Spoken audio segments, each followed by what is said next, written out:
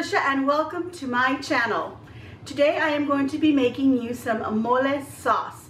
This is a traditional Mexican sauce that is used on many plates, uh, but one of the uh, most popular is to use it with some chicken or some turkey. I believe turkey was the original meat that mole sauce was used on, but now it's very popular and it is used on chicken or even on some enchiladas. So let me go ahead and tell you what some of the ingredients are going to be. I'm kind of going to be doing this and telling you uh, the ingredients in case I forget any at the beginning because I don't remember all the measurements. I've written this down, so I'm going to be taking a look at that as I do this. But let me tell you what uh, some of the ingredients that I have here. First, I will let you know that I am making uh, some chicken right here. I have a pot here with uh, some thighs and they are on bone and skin and I've already cooked them and so I'm going to be using the chicken from there and I'm going to be using the chicken stock that's in there for my recipe. So that's one of the ingredients, chicken stock. The chicken is not necessarily, but if you want to make chicken mole, then you got that ready. All right, uh, but you could already buy that already made. All right, so let me show you what the rest of the items are. So let me move my camera down so that you can see what I've got here on the table. All right, so here on the counter, I've got an array of ingredients. Let me start off by telling you the chiles that we're going to be using. Uh, these are dried chiles, and we are going to be using a chile de uh, ancho, or ancho chili, as some of you have heard it being called. This is uh, guajillo, or some of people call it cascabel, which means rattle, because you can hear little seeds rattling inside of there, or like a rattlesnake. And then we have chile de árbol, you know, it just basically means it's a chili that grows on a tree. So these are our, our uh, chiles, and I'm going to be using about three of the chile ancho, three of the uh, cascabel or guajillo, and I'm going to be using six of these chile de árbol. And these I'm just going to leave them as is, but these other two chilies, I went ahead and I opened them. You can use your hands, just pull this off if you want. Uh, the stem part, just pull it off, just tear it off. Let me move these over a bit. And then you're going to just shake out all the little seeds that are inside. You could just kind of cut open into it a little bit and get the rest of those out. Just tear it up with your hands. It doesn't matter. You could use a knife or a little chicken, or sorry, not chicken, but kitchen scissors. So that's how we're gonna get those ready. You do the same with this, or like I said, you could use a knife cut into it like that. And actually I have some little scissors here. Let's go ahead and grab those and we can cut into that. This is another way where you can kind of get your fingers not to be used so much rubbing into these chiles. If you use a, a little knife, you can scrape out the seeds and these little veins. That's where pretty much all of the heat is. So of course, if you don't want that heat, you'll need to remove that. Now, the little seeds that are left over, you can toss those away or you could save them and use them as salad or pizza toppers. These are nice for that, but I'm gonna go ahead and get rid of them. All right, so let me tell you what the other ingredients are gonna be. I'm gonna be needing some tomatoes. So I've got these Roma tomatoes and uh, you could use just uh, uh, three large Roma tomatoes. I went to my grocery store and I didn't find any large ones. I just found these little small ones. So I went ahead and I got six of those. And now to those, we are gonna want to remove uh, the stem part right here, just like so. And you just get your little knife. Let's just cut that out. We won't need that. And then we're gonna need about eight of these small tomatillos. They come in this little husk. So all you're gonna do is you're going to remove the, this husk and then you're gonna wash this really well because it has a little bit of a sticky, slimy bit feeling to them. So here I've got these already that I've already washed. I've got one yellow onion and I've already cut it up. You can use a white onion. I've got eight cloves of garlic and then I've also got four little cloves here, the seasoning or spice. And then I've also got one tortilla and I've gone ahead and I cut this into little quarter bits just to have those ready. Okay, so all of these are ready. I just have to rinse off this one little tomato. Okay, for our mole sauce, we're also going to be using some nuts. And here I have half a cup of cashews, raw cashews actually. I wanted to use all raw nuts, but I couldn't find them all raw. The only ones I found raw were the walnuts. I mean, sorry, the cashews. You could use walnuts instead of cashews, by the way. Uh, but you're also gonna need a half a cup of almonds, and I've got almonds right in here. And under that, I've got a quarter cup of peanuts. So let me just show that to you right there. So I've got those nuts ready. I'm going to be needing a tablet of some Mexican hot chocolate and I'm using this particular brand, Abuelita. This is a very popular brand. You're gonna need a whole tablet of this. Uh, you may possibly go into a second one depending on how chocolatey or sweet you want your sauce to be. Um, I'm probably going to go into a second one, but for now we're going to go ahead and get started with one. I will have this whole uh, uh, ingredients and the recipe in the description box below, so don't worry if you if I miss something or you're missing something. Okay, here I've got a half a cup of raisins, just regular raisins. And then I've got some spices and some seasonings. Okay, so I've got a small stick of cinnamon here, and you can have like an inch or so cinnamon stick. I've got this a little bit bigger. It's about maybe two inches. I'm going to use that whole bit. I've got a tablespoon of some sesame seeds, half a teaspoon of coriander, and half a teaspoon of anise. And uh, you could add a little bit extra if you want. Uh, that's just up to you. In this little bowl, I have some dried Mexican oregano, oregano, and I also needed some dried thyme. And this is, let's see, this is about a teaspoon of each. I couldn't find dried thyme, so I went ahead and I got the ground one. It's no big deal. So I've got that right there.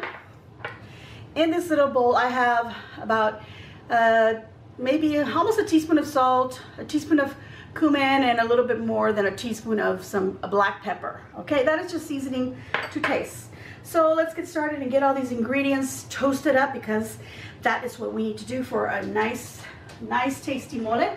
So I've got my my iron skillet ready. You can use any skillet that you want to use. You can put some foil in there if you just don't want to get um, get it all dirty. You can just use a piece of foil and roast everything on it. But I'm going to go ahead and move this over to the stove so that you can see what I'm doing next. All right, so I'm going to take all the chicken that I have been cooking and I'm going to pull it out of my broth here or my stock and I'm going to set it aside because I will be needing some of this broth. Now, uh, if you don't make your own broth and you go ahead and purchase some, you could get yourself a rotisserie chicken that's already been cooked as well, so you can save yourself some time because making the mole can take some of your time. But I do recommend that you make everything yourself since you are, you know, you're going to go through the trouble. It's not going to hurt you to put up a pot of, a big pot and boil some of this chicken and get that chicken broth done. Okay, if I can get this out of here, it'll be awesome. Okay, so here I've got my chicken thighs and I'm going to take this chicken thighs and I'm going to remove the skin and remove the meat off the bones and shred up some of that chicken for my plate. And this is my chicken broth in there. And you could uh, strain this if you wish and get all that out of there. Okay, I've got some water boiling and that's pretty good. So I'm going to go ahead and stop that. My skillet is nice and hot. So I'm going to put my chiles in there and just put them whichever way because you'll turn them around. We're going to toast them up a little bit. Let's get those, see if they all fit in there. And, uh, and then of course our chiles de árbol right in there. Okay, in this uh, pot of boiling water, I'm going to take these four cloves, throw those in there. And I'm also going to take my half a cup of raisins and throw that in there. And then I'll show you what I'm going to do. Okay, so first we want to toast these little chilies or chiles. And we want them to kind of blister up a bit. This one is doing so, but let me open it up because it's a pretty big one. So I'm just going to spread it like that. But I just want to show you how it's got some blistering right here. And it looks really black and burnt in the in the camera, but it's not. Okay, so this is blistering up real nice. Let me turn them around. This one needs a little bit more on this side.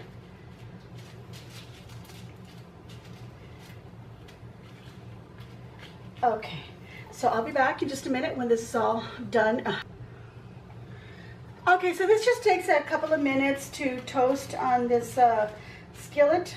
So it doesn't take very long, but I will give you a, a word of warning, and I'm already wanting to do this. That's it. it. This will make you cough. All the fumes coming from the chiles will make you cough.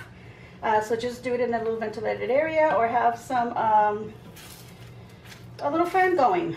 Okay, so just warning on that. Okay, so then I've got uh, all of these and I'm pulling out and I'm putting them in the water with the cloves and the raisins. And this is just going to rehydrate these chiles. And it's also going to pull some of that natural, excuse me, natural oils out. That's what we wanted to toast them up in here also. All right, so the chiles have been put in this pan and I've gone ahead and I put a little bowl over it. And this is just to make sure I push down the, the chiles that are in the little pot and they are getting uh, soft. And this is going to rest for 20 or 30 minutes while I do a whole bunch of other stuff. And we'll just leave that alone with the uh, raisins and the cloves in there. I've got a pan over here that I'm gonna go ahead and get started. I'm gonna make some rice. this is not part of this recipe, but I'm gonna go ahead and get this going. Let's see, we need to use the back. Let me get this get hot here. Okay, so I've got our pan here still, our iron skillet, or what is this, a cast iron? Yes, there we go. All right, so we're gonna put these onions right in there. You don't have to break them up as I'm doing, but I like to do that. So I'm gonna toast them up a little bit. in the same pan, we don't have to clean it up. We're just going to use the same pan. All right, where I'm also going to throw in the garlic.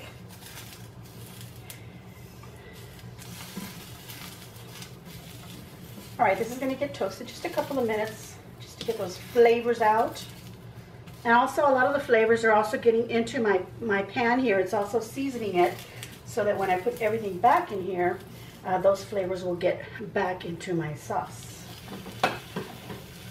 All right, now that I've got these onions toasted and the garlic toasted, I don't want to burn them. This pan is getting hot. I'm gonna pull all this out and put it over into a plate, set it aside. So I'm getting all this onion out of my little skillet now. And now I'm gonna go ahead and put my Roma tomatoes in because there are not three large ones. Uh, so they're, they're six small ones. They're going to take pretty much a lot of space in here. So I'm going to roast these up first. Well, I think I can fit my tomatillos in there. I sure can. Okay, let's go ahead and put those in there as well. These are going to take a little longer to roast. Uh, so we're just going to leave them on there a minute. I'm to check them. Once they're gotten black or like bubbly underneath, the skin is getting bubbly, then we can turn them around and uh, continue toasting them all the way around. Okay, let me check out these tomatoes. And see how they got that? Okay, so we want that on, on all the sides. So we're to turn them. Get them roasted on every side.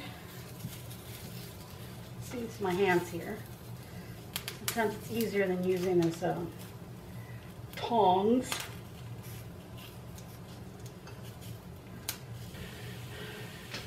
Okay, our tomatoes have uh, roasted up pretty good here. It's been a few minutes. We're going to go ahead and um, get those out and put them aside as well. And I'm not going to mind all these bits on the bottom, okay? Just leave those in there. Don't worry about it. I want to take it out, that's fine. Okay, so now we're going to uh, toast our nuts. And the first one I'm going to toast is going to be my cashews because they were raw. Now, if they were all raw, I'd put them all at the same time. But I'm going to put these in first. Let them get a little toasty first. All right, I've gone ahead and removing my cashews before they get all burnt. They are getting real nice and toasty.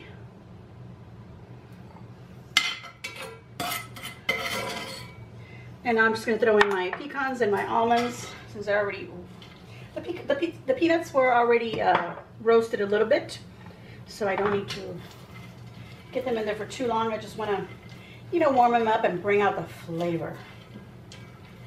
Okay, I'm just going to let that toast for a little bit. I'm going to pull those out.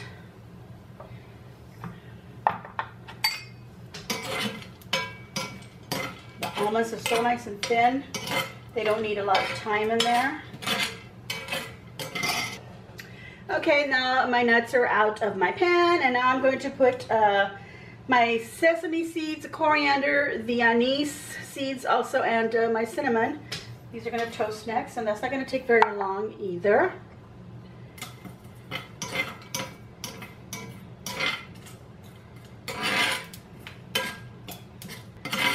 And then we're gonna go to our next step. All right, in that same pan where I've been toasting everything, I'm gonna add about a tablespoon of vegetable oil. If you wanna use uh, shortening, you can use shortening like a Crisco or, uh, you know, a lard or even, I wouldn't use olive oil because I don't really think olive oil is good enough for frying things, but you could uh, use that as well. And now I'm gonna take the tortilla that I cut in little quarters and I'm gonna fry that up in the oil. And I wanna get that real nice and really fried till it gets toasty brown.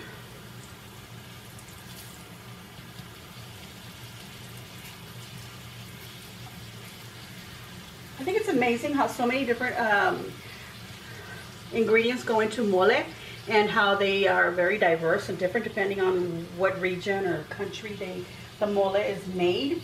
And you know how uh, someone thought, oh, I'm gonna put a tortilla in there. You know, it's awesome. Okay, so we want to toast this up a little bit more and then we're going to pull it out and put it back into our little container and set that aside and we're going to move over to our counter.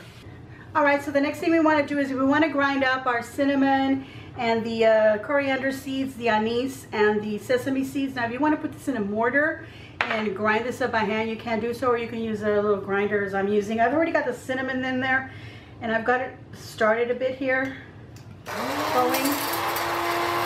I've got some of it falling off to the sides here, that's fine. So I'm going to take that bit and shake it off into my little container here.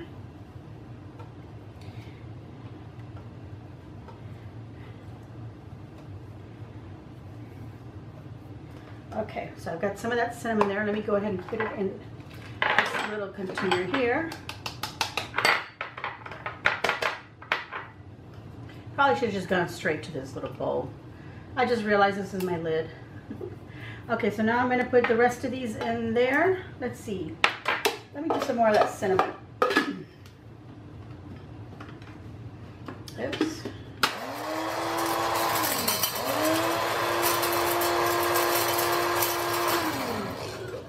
Okay, that's good enough. Oops, that doesn't come out. Let's get those all in there all that cinnamon. And then I'm going to go ahead and pass the rest of it through this colander here, strainer, so that I don't get those big pieces of cinnamon. This is not going to grind them all completely. I do have a little mortar here, and I will try and do that on there. If you want to save yourself this trouble, just use some powdered or ground cinnamon. Okay. The rest of it in there. Okay, now let's get these little nuts or seeds in there.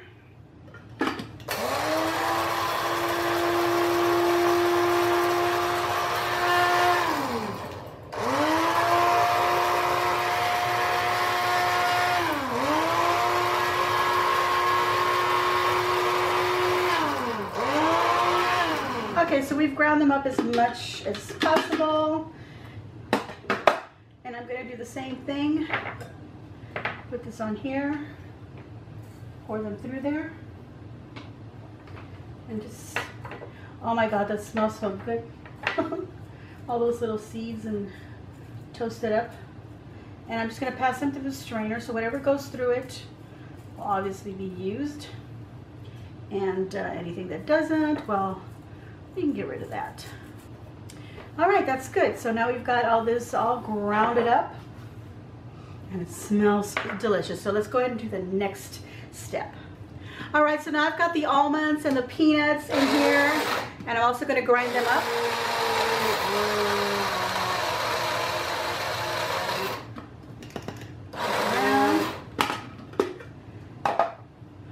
So you can see that. In a cup here. I'm just being careful because of the blades in there.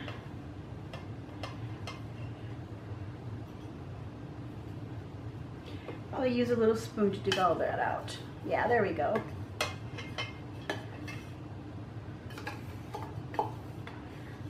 And of course that also picked up some of the leftover spices that were in there.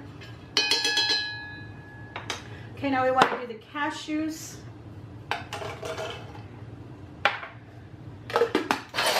Okay, so there's a couple of cashews in there that just didn't want to break up, so we're not going to use those. I'll just take those out. Mm-hmm. Delicious. Nice and toasty. This almost tastes like a, this uh, grounded cashew here. Almost tastes like a mazapan. It's candy. And I think mazapan is made with um, with almonds actually. Hmm, I'll have to look that up. Okay. That's not to be confused with marzipan. I think that's something else. Mazapan. All right, everyone, so I'm back with my chiles that have been soaking in this water and they've been soaking for 30 minutes at least, a little bit more, but you only need about 30 minutes for them to soak. I'm gonna put this into the blender, all of them, and uh, actually the water that they were placed with, and then all those raisins. We're gonna put them in the blender and liquefy that.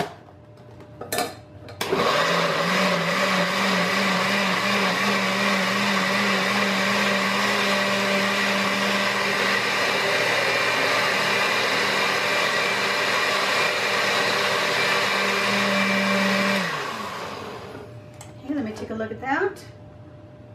Pretty darn good. Okay, so we're gonna go ahead and take this off here. And now we're gonna strain them and into a bowl. So just pour that all in there.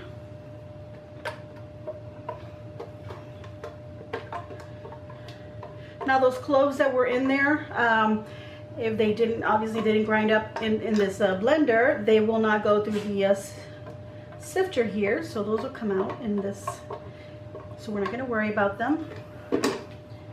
And I'm gonna take a little bit of this chicken broth, pour that in there, just a little bit, and just roll it around my, my blender container, gets most of that leftover chile.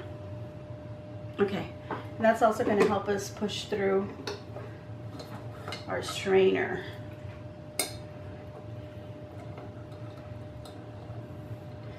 So just keep doing that till you've got it all going through and you'll have some little bits left in your strainer and you're gonna wanna just toss that out and um, we'll rinse off our blender and we'll rinse off our strainer and then we'll go to the next step.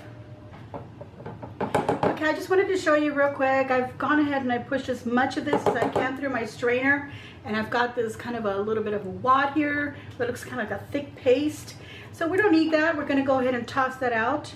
And um, let me show you what this looks like. Kind of made a little bit of a mess in here. But that is what that chili is sauce is starting to look like. And as you can see, it is starting to look like mole. And that is the beautiful color that um, the, my mole will have when I'm done. A little bit lighter than that, of course, but that's what it's looking like. Okay, so I'm gonna go ahead and clean all this up and we're gonna go ahead and go to our next step. All right, so now we want to go ahead and put all our tomatoes and the rest of our ingredients into the blender and we're going to go ahead and strain that as well. So let's go ahead and throw in our tortillas, and these tomatoes. I think I'll do a few items at a time so my blender's not so full. I'm gonna add a tiny tad of this chicken broth in there just to help everything move along.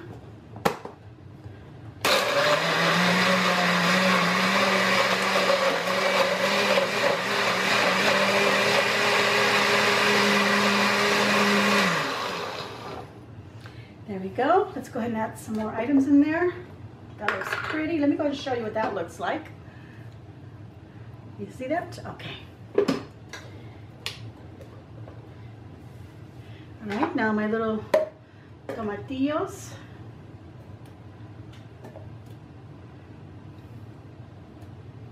Get those onions in there. Any liquid that was on my plate. Get that, get that on there. Let me there we go. Use the onion itself to scrape that off. Little piece of onion escaped over here. Okay, so now the lid back on and we're going to continue until we got all our ingredients in here. All right, so I'm gonna add my oregano and my thyme in there. All my little seeds and the cinnamon. Get that in there.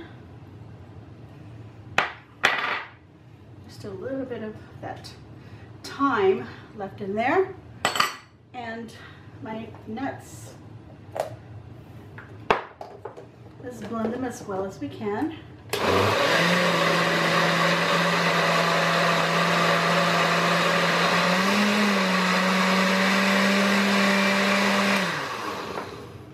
Just add a little bit of extra stock if you need that to help get things moving because the tomato sauce is getting thick. Okay, so there we go. Let me show you what that looks like. All right, we're gonna go ahead and pass this through also through our strainer. And I'm gonna do a little bit at a time. I don't know what I did with my spatula, so I'll use this little spoon.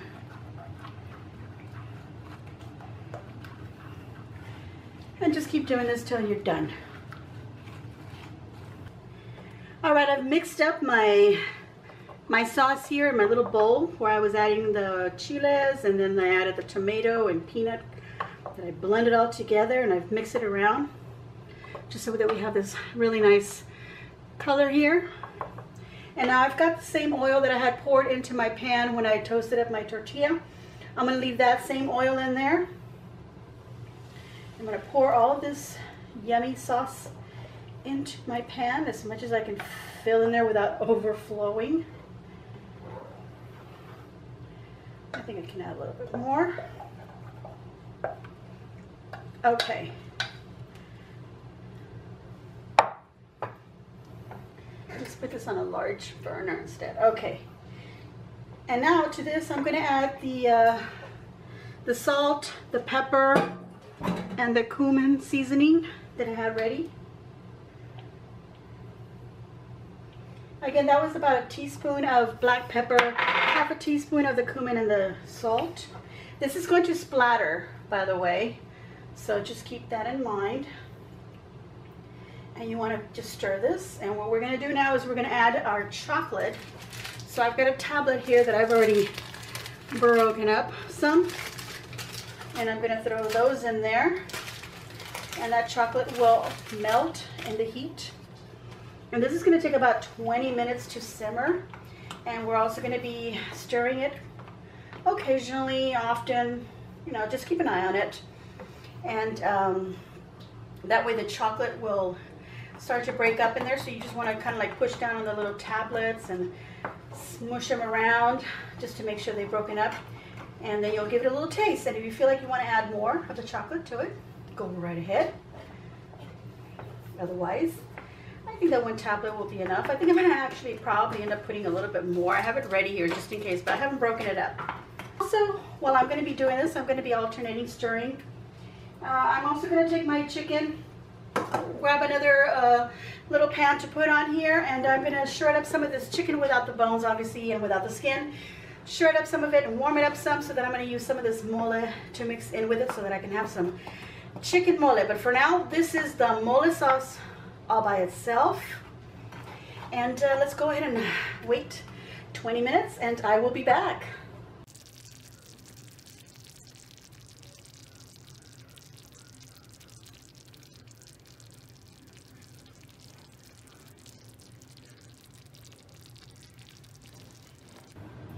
All right, my chicken mole is done. I have taken it off the stove and brought it over to my counter so we can go ahead and serve some up. I've got my rice here and I've already gone ahead and put some chicken and rice on my plate here. So I'm gonna go ahead and serve myself some of this mole sauce over it. And just coat it. And you can take uh, half of this mole and mix it up with some chicken on uh, in a skillet if you want to do that. Or you can save uh, also half of it put in a container. You can even freeze it. Let it cool off first before you put it in the fridge. Uh, put it. You can put it in the freezer if you want, and it'll be good for up to six months. Okay. Other than that, um, you'll probably be eating it way before that because you can use it for some enchiladas. So instead of the enchilada sauce, you can use the mole sauce. So here we go. Here is my mole sauce and I poured it over some chicken and I've got some rice on the side. So let's take a taste. And I have to uh, say, I've already tasted the sauce a couple of times and I did add that second tablet of chocolate so it does have two of those in there. Mm-hmm. Oh my gosh. Okay, maybe I want another little, another little bit. This is so good. Mmm. I love the sauce. Now, you're probably gonna wanna prefer it with a little bit less chocolate. I happen to love it just the way it is. I was tasting it as I was adding the chocolate and I was happy with two tablets, but you probably wanna put maybe one, one and a half tablets in there. And that's it. That is my mole made from scratch that you can use with um, turkey or chicken or on some enchiladas. There you go. Give me a big old thumbs up. I'm gonna give myself a big old thumbs up and uh, leave a nice comment down below. Let me know what you think and any suggestions that uh, any other foods that you like to see me make for you. And um, make sure you subscribe if you haven't already subscribed and share on your social medias. Let's see, let's get this pan up and get a close look of it. All right, so here we go. We're gonna bring this pan up. And there you go. And as always, enjoy.